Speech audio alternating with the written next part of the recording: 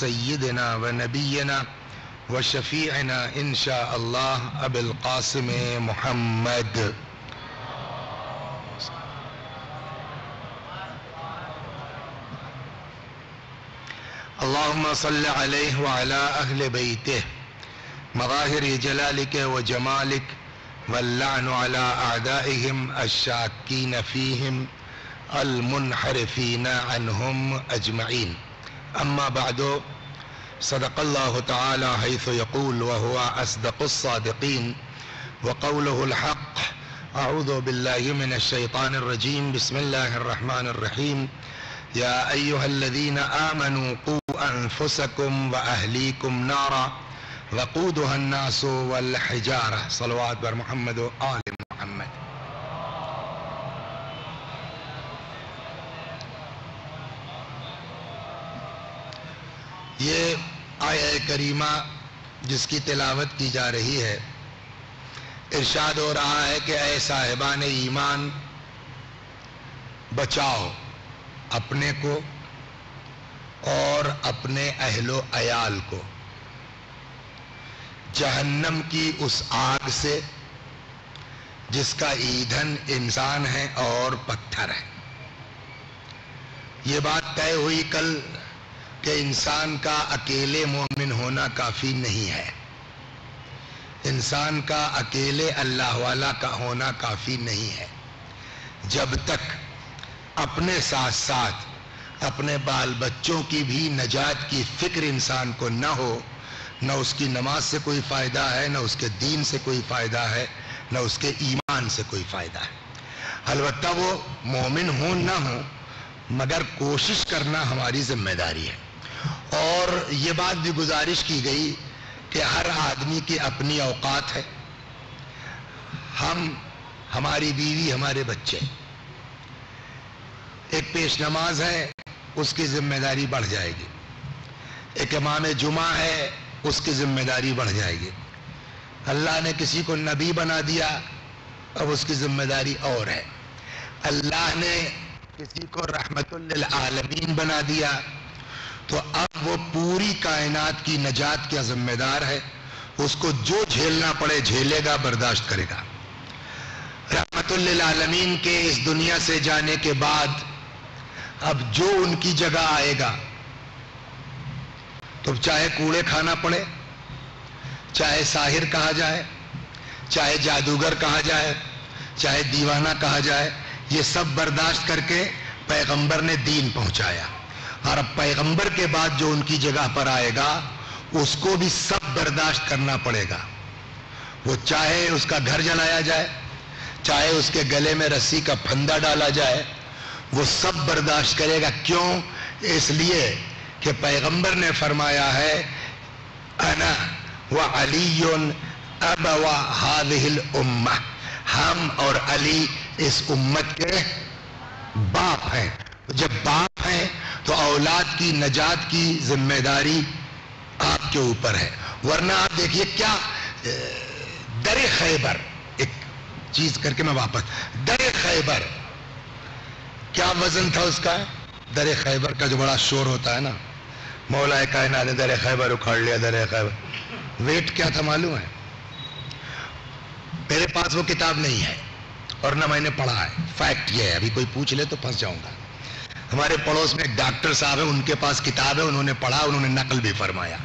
ऐसे ही एक दिन बाद निकलित करने गया है मुहदस देहलवी ने लिखा है, दर खैबर का वज़न 320 कुंटल कितना हुआ? 32 टन। कोई हिल क्या? 320 कुंटल है ना? एक कुंटल में 100 किलो हुआ ना। तीन हज़ार बीस दो सौ किलो। तीन हज़ार दो सौ किलो का मतलब बत्तीस टन। ये जितने हम लोग हैं, इस पूरा मजमा मिल करके हिला सकता है। मौलाए कायनात ने पूरा हाथ लगाया था? ज़ोर से। दो उंगलियाँ और नई के सिर्फ़ दरे खैबर को उखाड़ा। उसके बाद क्या हुआ? हाथों के ऊपर, ठीक? उसके बाद क्या हुआ? पूरी फौज उस हाथ के ऊपर से गुजर रही थी।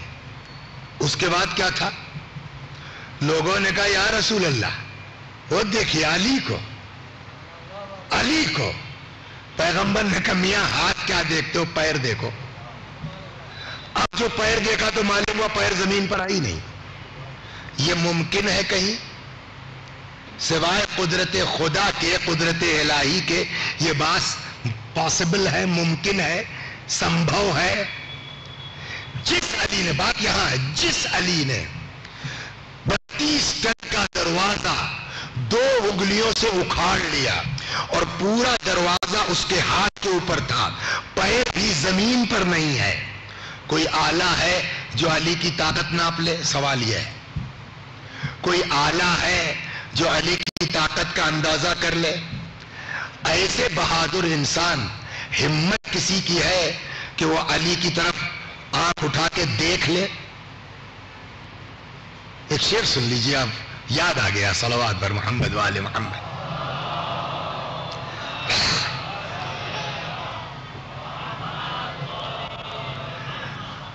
फरजदक का नाम सुना होगा आपने, है?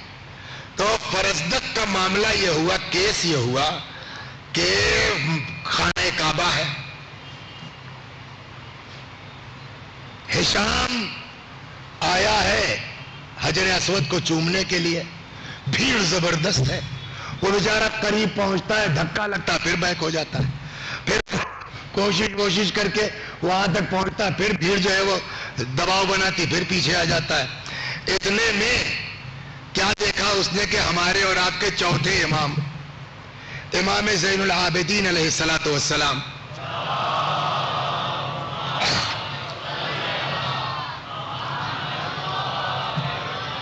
ये आहिस्ता आहिस्ता मौला बढ़े, मजमा खुद ब खुद आतो। काई की तरह फटता गया, गए तो आदमी को, एक आदमी अपने को खलीफा कहता है बादशाह कहता है हाकिम कहता। वो पहुँच नहीं पाया। एक आदमी ऐसा खामोशी से गया। न कोई सिपाही है, न कोई गनर है, न कुछ है। मजमा काई की, खलेगा नहीं, खलेगा? तो कहने लगा, कौन है ये? अच्छी तरह पहचानता था। लेकिन कभी कभी आदमी ज़ाहिर करता, हम नहीं पहचानते। जानते काहे के लिए? एक कुछ है थोड़ी। अगर कोई चीज़ होते तो भला हम न जानते। तो तोहीन के लिए उसने पूछा कि, ये कौन है? फरज तक सारा मंजर देख रहे थे। फरज तक उठे पूरा कसीदा इमाम की शान में कह दिया, जिसमें एक शेर ये भी था कि हादल लदी तारिफुल बतहा वतअतहु ये वो है जिसको बतहा जानता है। वती कहते हैं, उन संग्रेजों को जो चलते वक्त इंसान के पैरों के नीचे रौद उठते हैं, कंकरियाँ, उनकी कोई औकात है? फरजदक कहता है कि इस आदमी को बतहा पहचानता है और पैरों तले रौद उठने वाली कंकरियाँ भी पहचानती हैं। मतलब इशारा यह है कि तुम्हारी औकात उन संग्रेजों के बराबर भी नहीं है कि वो तो इमाम को पहचानते तुम नहीं पहचानते हो। अरब यारिफ मन इनको अरब भी पहचानता है, अजम भी पहचानता है, जिसने इनकार किया वो भी पहचानता है। है ना? हमारा मकसद ये नहीं है। एक शेर इसमें ऐसा है, जिसको मैं सुनाना चाह रहा हूँ ताकि मौला पर पलट के आऊँ। सलवात बर मोहम्मद वाल मोहम्मद। वो शेर ये है। कहते हैं कि हैबत का आलम ये है कि युगदी हयान व युगदा मिन महाबते, फला युकल्लिमु इल्ला हीन यबतसिमु। इनकी हया और गैरत का बात भी जाना है गैरत की तरफ़ तो उस एतबार से भी इस शेर को याद रखिएगा। युगदी हयान व युगदा मिन महाबते, फला युकल्लिमु इल्ला इनकी निगाहें गैरत की वजह से, हया की वजह से झुकी रहती हैं। बावजूद इसके कि इनकी आँख झुकी रहती है, वह युगदा में महाबत, उसके बावजूद इनके चेहरे की हैबत ऐसी है कि लोगों की नज़रें झुकी रहती हैं। फला युकल्लमु इल्ला हिन यबतसमु, जब तक ये मुस्कुरा न दें, तब तक किसी में हिम्मत नहीं है कि इनसे बात कर ले। गौर फरमाया तो ये हैबत का आलम है इमाम सज्जाद सलाम कि शायर कहता है कि जब तक ये मुस्कुरा न दें तब तक किसी की हिम्मत नहीं है इनसे, वो बेटा बात कर ले, जब इमाम सज्जाद की हैबत का यह आलम है तो वो आदमी जो दर खैबर उखाड़ रहा है, वो आदमी जिसके हाथ में बत्तीस टन का दरवाज़ा है, किसी में हिम्मत है उसके आँखों में आँखें डाल के देखने की, है ना? अब रसूलुल्लाह की वफात हो गई। लोग दरवाजे पर आग और लकड़ी लेके आ गए। दरवाज़ा जला दिया गया। पब्लिक अंदर पहुँच गई। उसके बाद तारीख में क्या है बेटा आप फरमाइए? ये लोग जब घर में घुसे मौलाए कायनात के उसके बाद क्या हुआ? मिस्कीन फकीर। ये लोग जब मौलाए कायनात के घर में घुसे जनाब फातिमा के साथ जो बेहरमती हुई वो बेहोश हो गई। उसके बाद मौला के साथ क्या हुआ? अक्सर तो बोलिए ना तो मालूम तो है बेटा। क्या हुआ? गले में रस्सी डाल दी गई। और रिवायत ये कहती है कि एक आदमी आगे से खींचता हुआ, दूसरा आदमी पुश से ढकेलता हुआ। ये है तारीख में। आपके भेजे में आती है सोहेल साहब ये बात? फंस जाएगा ना? क्यों भाई? अकल में आती है बात। जिस आदमी के, आप फरमाइए, सही है ये? सुनते आए हैं, इसलिए मान रहे हैं। शिया में पैदा हुए हैं, इसलिए मान रहे हैं। लेकिन क्या वाकई भेजे में आने वाली बात है यह कि एक आदमी जिसकी ताकत का ये आदत हो, कि बत्तीस टन का दरवाज़ा उखाड़ ले, है ना? जिसके हाथ पर बत्तीस टन का दरवाज़ा हो, इस तरीके से पूरी फौज गुजर जाए। उसमें आम आदमी की औकात है कि उसके गले में रस्सी का फंदा डाल के कह सकता है। ये पॉसिबल है, ये मुमकिन है। आज 1400 बरस के बाद, हम आप किताब पढ़ने के बाद, हमारी अक्ल में नहीं आती बात। या वो खैबर वाली बात सही है, या ये गले में, बोलिए। मैं कोई गलत बात तो नहीं कह रहा हूँ। ये कैसे मुमकिन है कि जिस आदमी की कुत का ये आदम हो, जिस आदमी की ताकत का ये आदम हो बात इतना खामोश कि उसके गले में रस्सी का फंदा डाल दिया गया।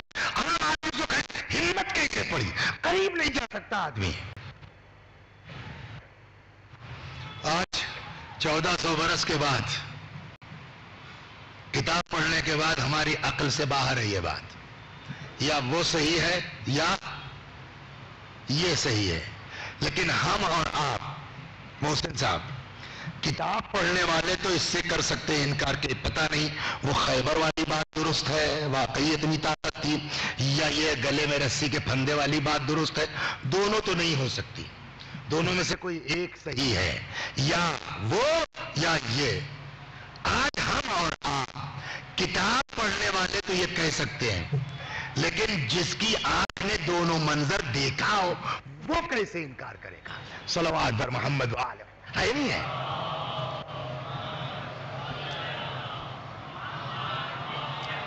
समझ भाई हम इनकार कर दे। आप इनकार कर दे। आप इनकार कर दे। भाई बात किताब की हमारी समझ में नहीं आती है। लेकिन जिसने दोनों मंजर देखा है, वो अपनी आँख तो नहीं फोड़ लेगा ना? अब चलिए मौला से पूछें। मौला, इतनी आसानी से तो नहीं कह सकते हम कि ये दोनों गलत है। इसलिए एक जमाने से चला आ रहा है। कुछ समझ में नहीं आता। ये ऐसा क्यों किया आपने? कहा वो ताकत और कहा गले में रस्सी का फंदा? कुछ समझ में नहीं आता मौला, ये क्यों किया आपने? हज़रत का जवाब होगा, इतनी आसानी से हमारी बातें तुम्हारी समझ में नहीं आएँगे। तो हमारे साथ साथ रहो, अभी गले में रस्सी के फंदे का मकसद समझ में आ जाएगा। तारीख क्या कहती है? ये लोग घर में घुस गए। अमीर मोमिन के गले में रस्सी का फंदा डाल दिया गया। एक आदमी आगे से खींचता हुआ दूसरा आदमी पुश से धकेलता हुआ लेके आए। अच्छा मौला के घर में और मस्जिद नबी में बहुत फासला भी नहीं है। वो जितना सा है, उतने ही में एक यहूदी ने देख लिया। जैसे ही उसने अमीर के गले में रस्सी का फंदा देखा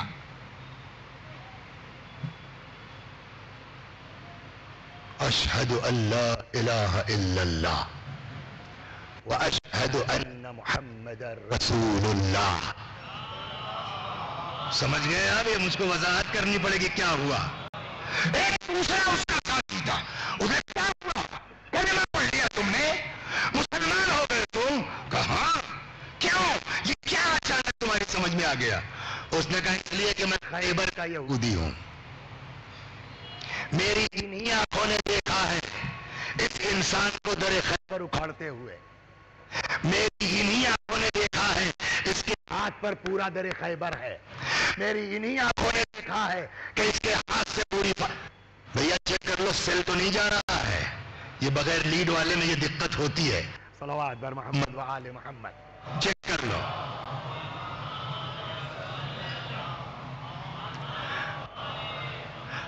हाँ इसलिए कि अभी तो हंस खेल करके खत्म हो जाएगा मामला। मसायब में अगर इसने डिस्टर्ब किया तो फिर कम से कम साल भर तक तो खलेगा ही। सलवात और मोहम्मद। वाले मोहम्मद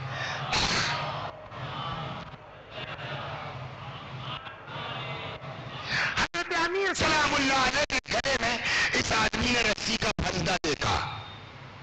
कलेमा पढ़ लिया उसके किसी साथी ने पूछा, क्या हुआ? कलेमा पढ़ लिया तुमने। कहा? ये अचानक क्या हुआ? क्यों? कहा, इसलिए कि मैं खैबर का यहूदी हूँ। तो खैबर के यहूदी होने से क्या होता है? कहा, इन्हीं आँखों ने देखा है। मैंने खुद, इस आदमी को दरे खैबर उखाड़ते हुए। इन्हीं आँखों ने देखा है इसके हाथ पर से आ जाओ आ जाओ आ जाओ, आ मोहम्मद मोहम्मद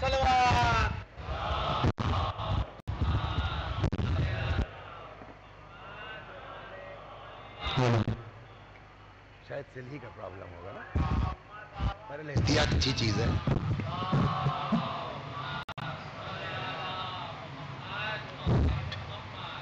तो मैं खैबर का यहूदी हूँ। मैंने देखा अपनी आँख से इस इंसान को दर खैबर उखाड़ते हुए। इसके हाथ से पूरी फौज गुजर गई और आज वही आँख देख रही है कि इसके गले में रस्सी का फंदा। फिर बात दोहराऊं?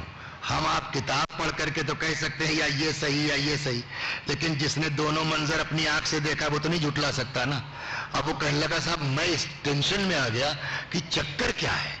कहा वो ताकत और कहा ये खामोशी और सब्र? बहुत गौर किया। एक ही बात समझ में आई है कि ये वाकई अल्लाह के नुमाइंदे हैं। जब खुदा चाहता है इजहार ताकत करते हैं। जब खुदा चाहता है मुजाहरे सब्र करते हैं और जैसे ही एहसास हुआ ये अल्लाह के नुमाइंदे हैं। हमने कलमा पढ़ लिया। अजब नहीं मौला का आवाज़ है। अब समझ में आया कि मैंने सब क्यों किया? अगर मेरे गले में रस्सी के फंदे की बुनियाद पर एक यहूदी मुसलमान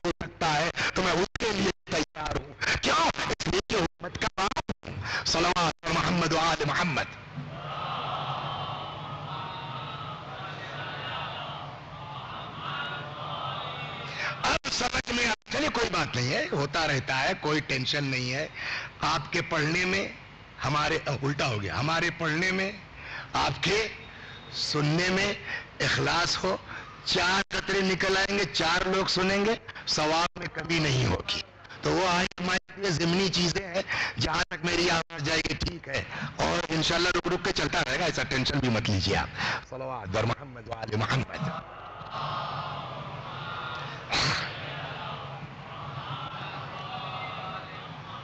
अब समझ में आया पैगंबर ने क्या फरमाया?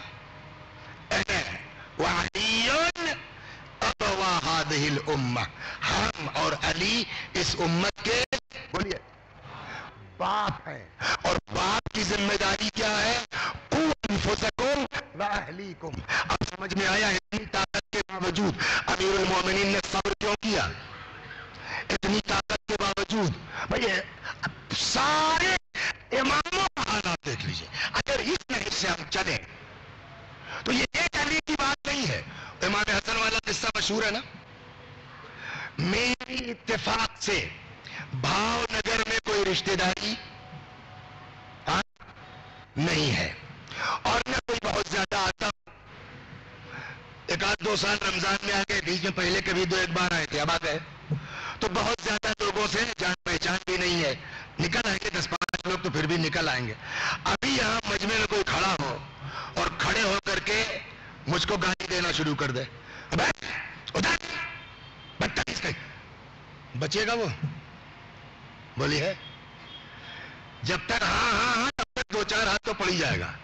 जबकि वो बुरा भला कहने वाला लोकल है, भावनगर का है, मैं कहा हूँ? परदेसी हूँ। वहाँ उल्टा केस था।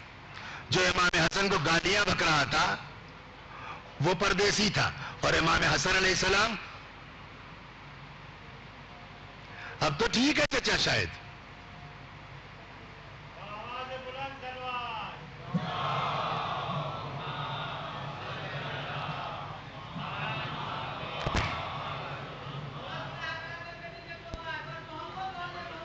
हाँ जब तक ये ठीक है हम लोग थोड़ा थोड़ा आगे तशरीफ़ ले आइए।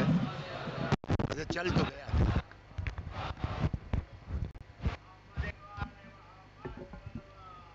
ठीक ठीक, अरे ठीक है, हम अपने हिसाब से कर लेंगे, लेकिन शायद इसकी आवाज़ उससे कम होगी। चलिए ठीक है, थोड़ा सा आपको मशीन के ऊपर बैठ के उसको सेट करना पड़ेगा। एक और सलवात बर मोहम्मद आल मोहम्मद, है हल्की ना?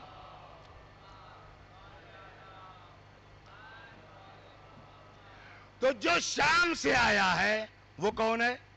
परदेसी। इमाम हसन सलाम वहाँ के मकामी है ना, लोकल है। और मामूली नहीं है। उनके एक भाई का नाम है अब्बास। एक भाई का नाम है मुस्लिम इबन अकील। एक भतीजे का नाम है अकबर। एक भतीजे का नाम है अली इब्न हुसैन। इमाम सज्जाद, एक से एक बहादुर लोग हैं। आदमी आके बाहर से आपके भाई को, आपके चचा को, आपके इमाम को उल्टा पलटा कह के चले चलेगा आप खामोश रहिएगा। है? तारीख तो नहीं कहती कुछ बोला हो कोई। जनाब अब्बास कहीं दिखाई दिए है। जनाब अली अकबर ने कोई झापड़ लगाया उसको? जनाब मुस्लिम ने उसको पटखा? कहीं नहीं मिलता। आप कहेंगे साहब न रहे होंगे उसको। एक तरफ़ से सारा खानदान गायब था, अपने इमाम को छोड़ करके। इसके अलावा कोई जवाब नहीं हमारे आपके पास कि अगर अब्बास रहे होंगे तो वो भी बड़े होंगे। मुस्लिम भी बड़े। इमाम ने कहा होगा कोई बोलेगा नहीं। अब अगर यह है कि कहा कोई बोलेगा नहीं तो इमाम से पूछे, क्यों? मौला क्यों? वो आदमी बाहर कहा कि आपको गालियाँ दे रहा है। और आप अच्छा उल्टा! भूखे हो सवारी नहीं है, कर्जा है, सब कर देंगे। मकान हमें जब तक मदीने में हो, हमारे यहाँ रहो, टेंशन कोई बात नहीं है। एक आदमी आपको आके गालियाँ बक रहा है। ऐसे बहादुर बहादुर लोग आपके खानदान में हैं। यहाँ तो तलवार उलवार की ज़रूरत नहीं थी। हज़रत अब्बास का एक हाथ कनपट्टी पड़ता खत्म हो जाता। हो जाता ना हो जाता। मगर खाना खाओगे, सवारी चाहिए। कर्जा है, मौला क्यों? पहचानिए अहले बैत को। काला कपड़ा पहनने से वसी हसन, तुम छिया थोड़ी हो जाओगे, कबा काली पहन के चले आए। ये और बात है कि इमाम के गम में काला लिबास पहनना उम्मुल मोमिनीन की सुन्नत है। सलवा, ये भी सुन लीजिए, अभी अभी ताज़ा रिवायत पढ़ी मैंने। काला लिबास, जानते कि बड़ा शोर होता है? काला लिबास सबसे पहले इमाम हुसैन की शहादत के बाद किसने पहना मालूम है? उम्मुल मोमिनीन जनाब उम्मे सलमा ने। लेकिन उम्मे सलमा गम में पहली खातून नहीं है जिन्होंने काला लिबास पहना। किताब वहाँ रखी हुई है धर्मसी साहब के। यहाँ जहाँ टिका हुआ में देख लीजिएगा करके नहीं कि सिर्फ़ उम्मे सलमा ने? इमाम हुसैन के गम में सबसे पहले उम्मे सलमा ने पहना है। लेकिन ये कोई नया काम नहीं है। जब जनाब हमजा जनाब जाफ़र की शहादत हुई है तो जनाब जाफ़र तैयार ने की शहादत के बाद रसूलुल्लाह ने जाफ़र तैयार की जोजा, क्या नाम था उनका? किसी को याद है? याद तो हमको भी इस वक्त मिस कर रहा हूँ। सलवार पढ़िए, याद आ जाएगा। असमा असमा बिनते उमैस जो मोहम्मद इबन अबी बकर की माँ भी है असमा बिनते उमैस को पैगाम कहलवाया रसूलुल्लाह ने, जनाब हमजा की शहादत के बाद कि तीन दिन काली शाल, काला रुपट्टा या कोई चीज़ काली अपने जिस्म पर डालो। तो ये सुन्नत पैगंबर इरशाद रसूल है, इजहार गम के लिए सियाह लिबास, सलवात बर मोहम्मद तो इजहार गम चलो ठीक है। मगर मोदी साहब वसी साहब काली कबा पहनने से शिया थोड़ी हो जाएँगे आप। काला लिबास पहनने से थोड़ी शिया हो जाएँगे। अहले बैत, क्या थे पहले ये समझो। मौला क्यों कर रहे हैं साहब ये आदमी आके गाली बक रहा है। आप कह रहे खाना खा लो। आप कह रहे सवारी ले लो। आप कह रहे ये कर लो। आप कह रहे ये कर लो। क्यों? अजब नहीं, इमाम कहेंगे, तुम लोग नहीं समझ रहे चुपचाप रहो, अभी समझ में आ जाएगा। जब हज़रत फरमा चुके तो वो शाम वाला पलटा। ए हसन, जब शाम से चला था, कोई पूछता, सबसे बड़ा दुश्मन कौन है? तो आपका और आपके बाप अली का नाम लेता। अब अगर कोई पूछे, सबसे बड़ा दोस्त कौन है? तो आपका और आपके बाप अली का नाम। जैसे उसने कहा नहीं इमाम मुस्कुरा के पूछे, आप बताओ? मैंने कहा तो क्या फ़र्क पड़ता है? फ़र्क नहीं पड़ता। जब आया था तो क्या करना चाहिए तुम्हारी एतबार से? हमने कहा, मार देते। कचलो मार दिया। मर जाता तो कहाँ जाता? जहन्नम, दुश्मनी है, ले भाई तुम्हारा। जहन्नम में जाता, ना जाता। लेकिन अब वो कह रहा, सबसे बड़ा दोस्त, आप और आपके बाप अली। अब वो घर जाके शाम में बिस्तर पे मर जाए तो पैगंबर की हदीस कहेगी मन माला मोहम्मद माता शहीदा। समझे ये लोग कैसे बात है? गाली खा के हमको जन्नत तक पहुंचाना चाहते हैं। सवाल पर मोहम्मद। गौर कर रहे और ये पूरी तारीख है अहले बैत की वाकई उम्मत का बाप आ जाता हूँ इमाम की तरफ़। इमाम का जमाना है। हज़रत में बहुत तवज्जो मस्जिद में एक आदमी आया अच्छा दुश्मनी के लिए, अभी मैं एक किताब पढ़ रहा था, वो है नहीं, तोहफा शरिया। बहुत मशहूर है, सुना होगा। उसका जवाब आपके यहाँ किसने लिखा मालूम है? मरहूम बाप बेटे ने मिलकर सैयद मोहम्मद कुली और उनके बेटे मीर हामिद हुसैन, समझे, तशीदुल मताहिन के नाम से तो उसमें एक शेर लिखा उन्होंने। फरमाने लगे कि नातिक आदमी अगर मेरा नक्श बयान करे तो मुझको यकीन हो जाता है कि मैं कामिल हूँ। समझ में आई बात? तो अब ये लोग जो वो कामिल को बुरा कहने के लिए कोई ज़रूरी नहीं है। हमारा नाकिस होना काफ़ी है। इमाम मस्जिद में असहाब के साथ हैं। वो एक आदमी दरवाजे पर है जो मुँह में आया। जो मुँह में आया। उसने इमाम अस्करी सलाम को उल्टा पलटा बकना शुरू किया। असहाब मौजूद हैं। जलाल आएगा नहीं आएगा? व्हाट्स योर नेम शाकिर अगर आप होते उस मस्जिद के गेट पर, इमाम के साथ तो तुम क्या करते बोलो? आ जाता ना जलाल। सोहेल, क्या करते? जान रहे या जाए मौला के साथ? तो वो लोग भी तो रहे होंगे। इमाम ने कहा खबरदार, कोई जवाब नहीं देगा। अरे मौला, इतनी आसानी से जिसका दिल चाहेगा, बाजारी देहाती आकर के आपको उल्टा पुल्टा गाली बक के चला जाएगा।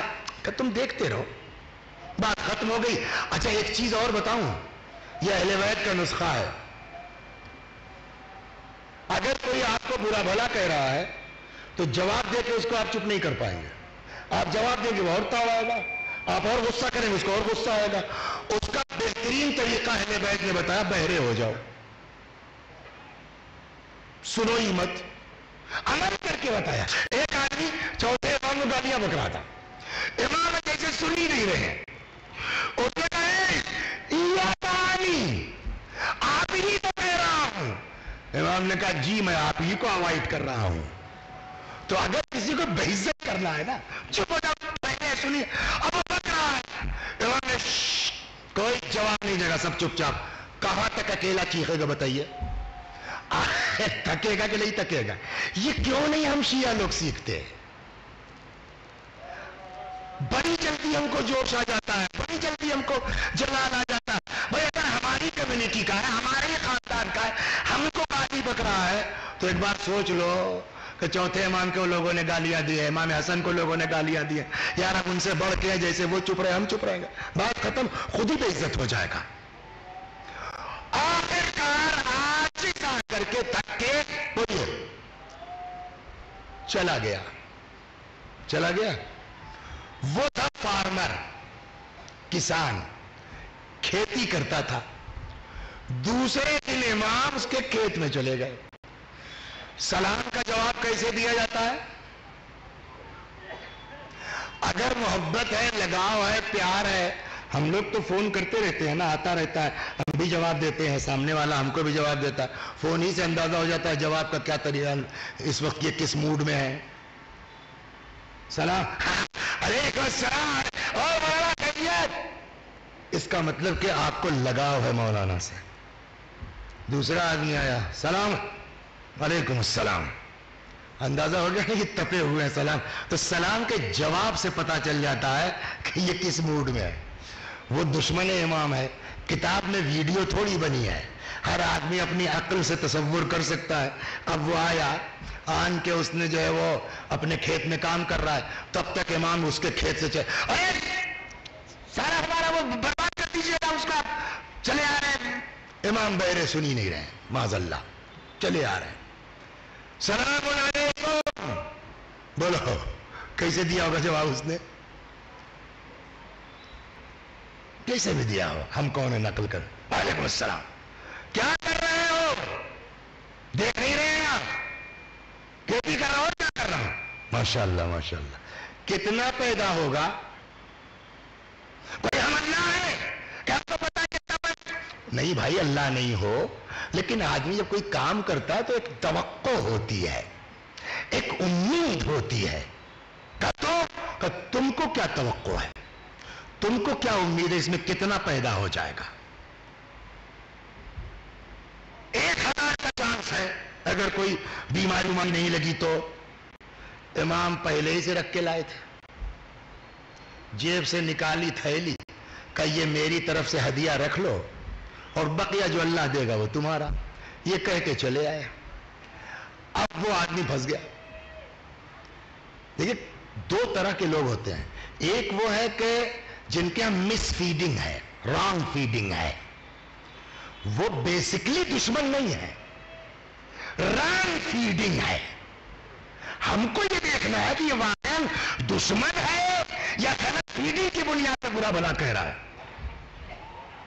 और ये बहुत मिलेगा अहले बैत के सिलसिले में कि कितने लोग हैं कि जिन्होंने वाकई आदि मोहम्मद सलाम को बुरा भला कहा है। बाद में उन्होंने शर्मिंदगी के इख्तियार की। माजरत की क्यों? इसलिए उनको पता ही नहीं था। इंशाला जो है मुहर्रम के बाद के मसाहब में सुना होगा आपने, या जो लोग आएँगे, सुनेंगे, सुन लीजिए आप, राम फीडिंग क्या चीज़ होती है? सलवात बर मोहम्मद वाले मोहम्मद। हमको ये सब देखना पड़ेगा। ये ज़िक्र हुसैन इसी के लिए है। कूफे और शाम में जैसे ही दाखिल हुए, बच्चे की बात नहीं है। शाकिर भाई, तुम्हारी एज का आदमी नहीं था। बूढ़ा, बुज़ुर्ग, वो आता है इमाम जैनुद्दीन सलाम के नाके के पास और हज़रत के नाके के पास खड़ा होकर के वो जो बदतमीजी की है उसने ना, वाकई बयान करने के लायक नहीं है। लेकिन अगर इमाम की इजाज़त ना होती ना, कि बताओ हमारे चाहने वालों को कि हम पर गुजरी क्या है, वरना ये चीज़ें बयान करने के लायक नहीं है। सुना हुआ आपको क्या था उसने? इस नीयत से, वरना आपको कहा मौका मिलेगा पढ़ने का? कि के साथ क्या जसारतें की गई है और उन्हें कैसे बर्दाश्त किया है? आता है इमाम सज्जाद सलाम के के पास खड़ा होता है और खड़ा होकर कहता है, अल्हम्दुलिल्लाह कि जिसने अमीरुल मोमिनीन यजीद, अब हम लोग लगा लें उसके आगे लानतुल्लाह अलैह, को फतह नुसरत अता की। और तुम लोगों का झूठ ज़ाहिर किया। ये मामूली बदतमीजी है, इंसाफ से बताइए। कोई भी हमने आपने होता, लड़ने मरने को तैयार हो जाता, ना हो जाता। इमाम समझ रहे हैं, ये बूढ़ा रॉन्ग फीडिंग है। गलत समझाया गया है। हम उम्मत के बाप हैं। बात हमारी कल से चलिए। उम्मत का बाप सब झीलेगा। तुमको ना, कु अनफुसकुम वअहलीकुम नारा। बचाओ अपने को और अपने अहलोयार को जहन्नम की आग से, जिसका ईंधन इंसान है और पत्थर है, बाप पर चाहे तो मुसीबत आ जाए, वो बर्दाश्त करता है औलाद के खातिर ना? इमाम का मिजाज यही है। अल्हम्दुलिल्लाह कि उसने यजीद को फतह नुसरत अता की अमीरुल मोमिनीन के लफ्ज के साथ कहता है, और तुम लोगों का झूठा स्कार किया। हमारी जान कुर्बान हो जाए अहले बैत पर, उनके सब्र पर। इमाम सज्जाद ने निहायत संजीदगी से पूछा अकरकल कुरान या शेख? ए बुजुर्गवार, शेख माने? बुज़ुर्ग। कुरान या शेख? ए बुजुर्गवार, ए बुज़ुर्ग, कुरान पढ़ा है आपने? काला शेख, नाम हाँ। फरमाया, हल करा कहा आय? कुल्ला असअलुकुम अलैहि अजरन इल्ला अलमवद्दत फिल कुर्बा काला शेख नाम पढ़िए फरमाया फन्नाहनुल कुर्बा या शेख वो कुर्बा हमें जिसकी मोहब्बत फ़र्ज़ की गई है अकरात हादिल आय व आतिदल कुर्बा हक्का कुर्बा को उनका हक दे दो वो फटक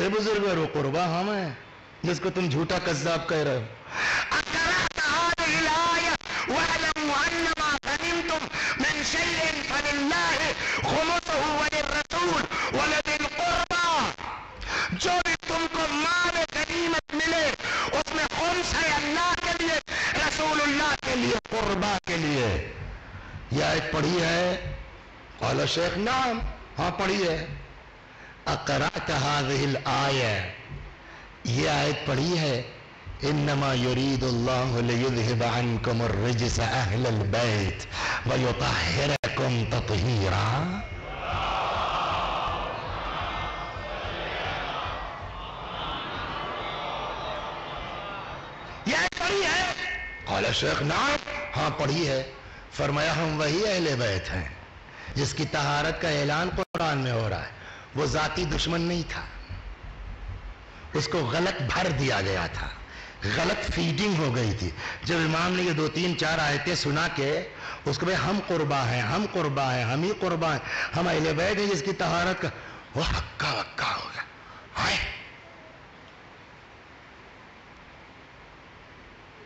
जानते उसका जुमला क्या? उसकी समझ में नहीं उसको यकीन नहीं आ रहा था। क्या कुरान ये सब कह रहा हूँ। उसके साथ ये हुआ है ये लोग वही है। उसको समझ में नहीं आ रहा जानते उसने क्या कहा? उसने कहा, कसम खाइए, आप लोग वही है। यहाँ पर हम आप होते तो क्या करते हैं? चला, मानो चाहे ना मानो, हम ये सब, लेकिन ये उम्मत के बाप हैं। हम पर क्या गुजरे, तुम किसी सूरत से सुधर जाओ। और देखिए, एक सब्र ने इमाम के उस बूढ़े को कहाँ पहुँचाया है? कसम खाओ तुम लोग वही हो आपके इमाम ने, मेरे मौला ने, उस आलम में भी हक पेदरी अदा किया, जबकि हाथ में हथकड़ी है, पैर में बेड़ी है, गले में तौक है, उस वक्त मेहरबान बाप की तरह फरमाते, वल्लाह हम खुदा की कसम ही, हम वही हैं। जैसे ही इमाम ने कसम खा के फरमाया, हम वही हैं अब तो बूढ़ा बौखला गया। यानी हमने औलाद रसूल के साथ ये किया है। उड़ाया क्या गया था शाम में ना? खारिजी है, खरूज किया है, बेदीन थे, लामजहब थे, ये सब बात कही गई थी ना? तो आप उसको भाई हमको ये बताया गया, ये औलाद रसूल है। ये कुर्बा है, ये अहले बैत है। हमने इनके साथ बदतमीजी की, हमने इनके साथ जसारत की। जानते हैं उसने क्या कहा? कहता हल्ली तौबा यबन रसूल ए फर्जंद रसूल, माफ़ हो जाऊँगा। मतलब उसको एहसास हो कि हमने किसके साथ जसारत की है? हमने किसके साथ बदतमीजी की है? यबन रसूल ए फर्जंद रसूल, माफ़ हो जाऊँगा। फरमाया, बिल्कुल, इन तुम अलैक, तौबा कर, अल्लाह कबूल करने वाला है। कहता, खुदा तू गवाह रहना मैंने तौबा कर लिया है। रिवायत कहते मुआविया, हदीस शेख फकुतिल इस बूढ़े की दास्तान यजीद तक पहुँची। यजीद ने कहा, इसको ज़िंदा मत रहने दो, मार दो। मैं समझता हूँ, शायद इसके पीछे फलसा ये ज़िंदा रहेगा घूम घूम बयान करेगा ये लोग कौन है? और कितने बने हैं? कौन? लिहाजा इसकी बात फूटने ना पाए। मार तो। मगर मार तो दिया गया। एक लम्हे के लिए उसने तौबा की। फिर शहीद हो गया। कहाँ गया? बोलिए। जन्नत में गया ना? गम, इश्क हुसैन ने मारा गया, इश्क इमाम सज्जाद ने मारा गया। इसको कहते हैं, या अयोहल्लदीन आमनु साहिबान ईमान, बचाओ अपने को और अपने अहलो अयान को। इमाम उम्मत का बाप है। हमसे इससे बहस नहीं है कि हम पर क्या गुजरेगी। चुनाचे, इमाम अस्करी बात घूम गई थी। इमाम अस्करी ने पूछा, कितना होगा हम कोई अल्लाह है। कभी अल्लाह नहीं हो, मगर आदमी जब कुछ करता है तो तबकों की बुनियाद पर करता है। तुमको क्या उम्मीद है कितना पैदा हो जाएगा? उसने कहा, एक हज़ार। जेब से निकाला, फिर वही रंग फीडिंग। जाति दुश्मन नहीं था, उसको वरगला रखा था लोगों ने। हम आप वाकई अगर शिया है ना तो हमको जोश के बजाय, गुस्से के बजाय हमारी ज़िम्मेदारी है कि हम अहले बैत की हक्कानियत बयान करें, ताकि वो हमारे नौजवान, जो बेचारे शिया नहीं हैं और वाकई दुश्मन अहले बैत नहीं है रंग फीडिंग है। वो कौन ज़िम्मेदारी लेगा उस रंग फीडिंग को हल करने की, निकालने की। सलवाद बर मोहम्मद आल मोहम्मद, बस, तमाम।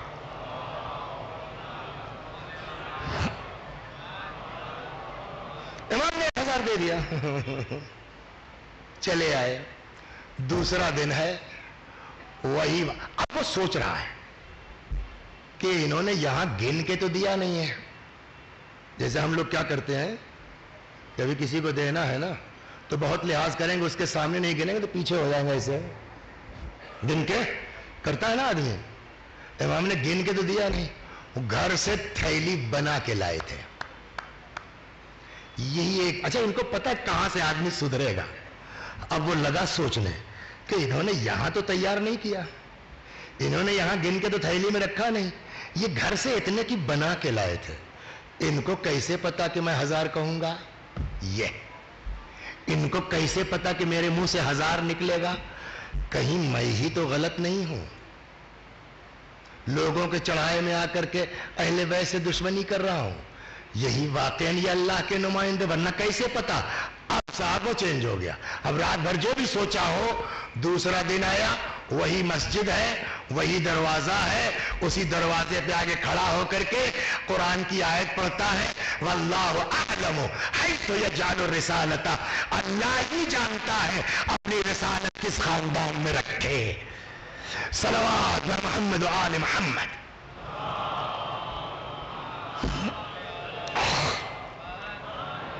ये क्यों है? ये इतना क्यों इमाम अस्करी ने बर्दाश्त किया? ये इतना क्यों अमीर ने गले में रस्सी का फंदा डलवाया? और जिस इमाम की तारीख आप पढ़ेंगे ना, हर इमाम की तारीख आपको इस तरह की मिल जाएगी। जवाब वही है, कुरान के मुताबिक अमल कर रहे हैं। या आमनु अनफुसकुम व अहलीकुम नारा। वरना आप सोचिए, इंसाफ की बताइए, एक हज़ार आदमी थोड़े हैं। आए? एक हज़ार आदमी कम है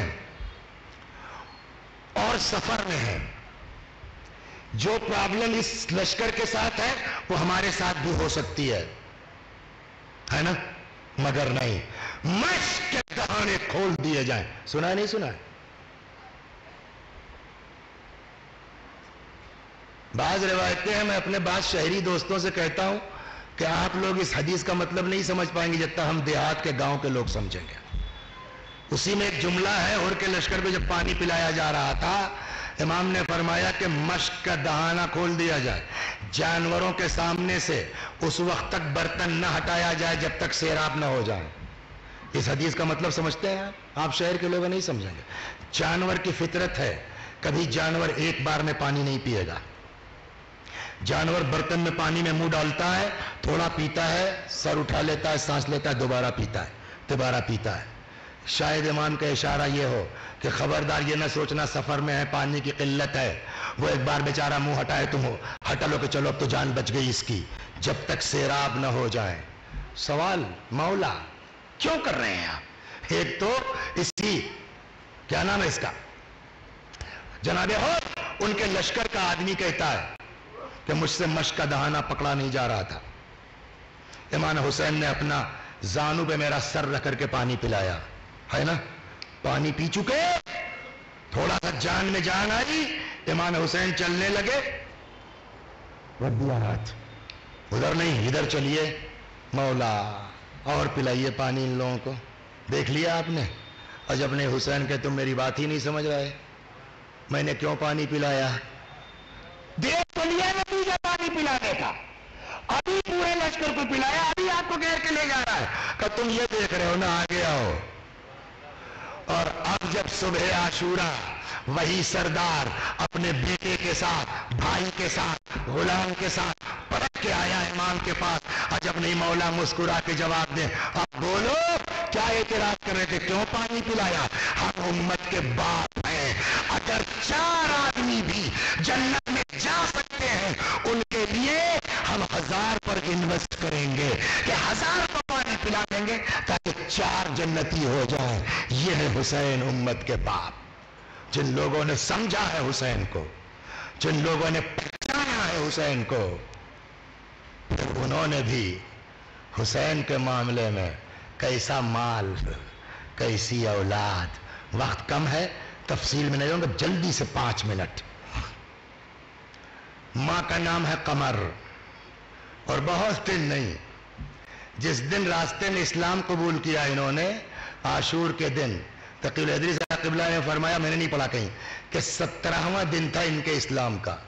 सत्रह दिन के अंदर क्या चेंजिंग आई है, है इमाम की सोहबत से आशूर के दिन माँ ने बुलाया बेटे को बेटा नुसरत का वक्त आ गया है वह तैयार हो गया। जैसे ही वह तैयार हुए, बीवी ने कहा कहा? मरने जा रहा हूँ। तुम तो मरने जा रहे हो, मेरा क्या होगा? कभी कभी होता है ना, आदमी कहता कुछ है, सामने वाला समझता कुछ है। वह ने निगाह उठाई, खैमों की तरफ़ देखा, ये देख रही हो? कहा? का जो हाल इनका होगा, वही तुम्हारा होगा। यानी अहले बैत की औरतों से बढ़ के तो नहीं हो तुम ना?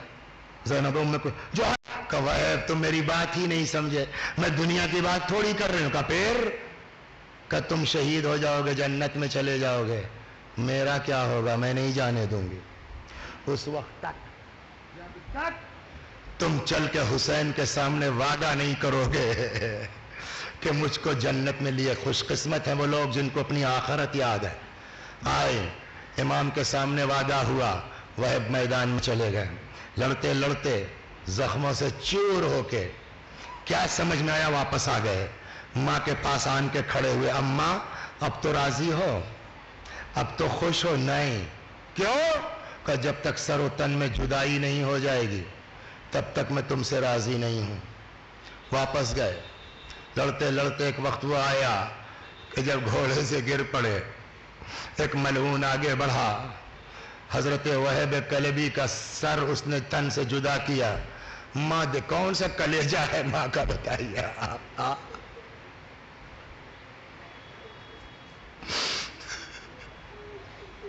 माँ देख रही है। उस मलून ने यह किया कि सर जुदा करने के बाद फेंक दिया माँ की तरफ़। अब तो बेटा शहीद हो गया ना। अब तो आँसू बहा लो। अब तो गिरिया कर लो। लेकिन वाह रे, वहब की माँ, बेटे के सर को आगोश में लिया, शाबाश मेरे लाल। जहरा के सामने तुमने सुरखरू कर दिया। ये कह करके वापस फेंका।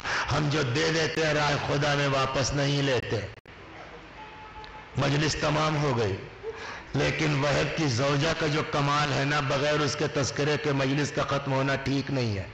रिवायत कहती है कि मरने से पहले करबला में वहब के बाजू कलम हो गए थे।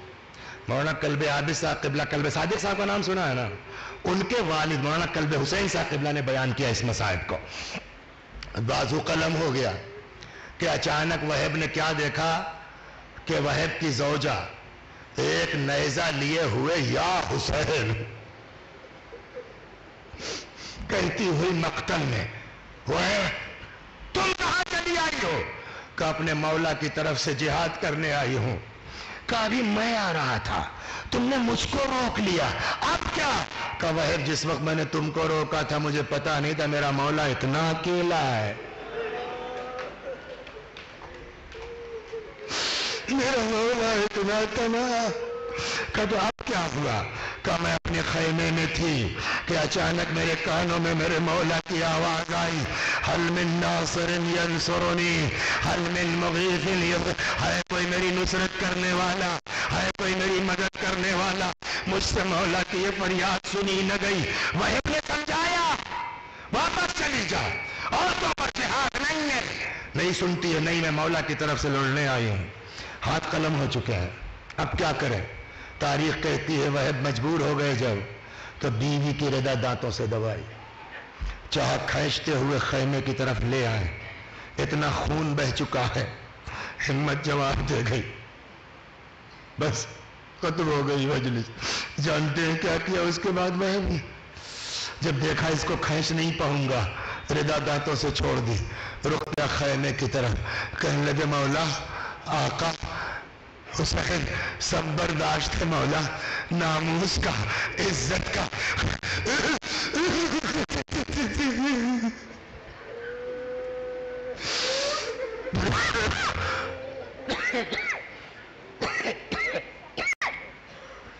जोजा का खैमे से निकलना बर्दाश्त नहीं है मौला। मेरे मौला, आके मेरी जोजा को समझा के खैमे में वापस कर दो। मजलिस हो गई।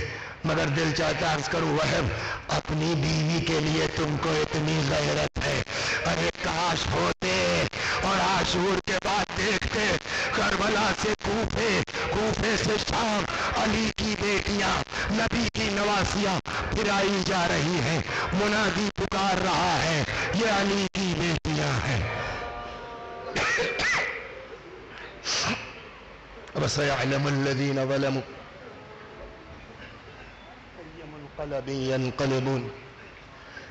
इन्ना लिल्लाह व इन्ना इलैहि राजिऊन खुदा हमारी इस अज़ा को कबूल फरमा मज़ीद अज़ाए अहल बैत की तौफीक करामत फरमा जब तक ज़िंदा हैं दर अहल बैत से वाबस्ता रख मरने के बाद जवार मासूमीन में जगह करामत फरमा खुदा जो लोग दुनिया में जिस तरह भी इन मजालिस में मेहनत कर रहे हैं, कोशिश कर रहे हैं, ज़िक्र हुसैन को आम कर रहे हैं। कोई फर्श बिछा रहा है, कोई मोमिन की चप्पल रख रहा है, कोई तबर्रुक बांट रहा है। खुदा जो भी हुसैन की जिस तरह खिदमत कर रहा है अल्लाह, उनकी कोशिशों को कबूल फरमा, उनकी नीयतों में खलूस इनायत फरमा। व आखिर दावाना अनिल रब्बिल आलमीन।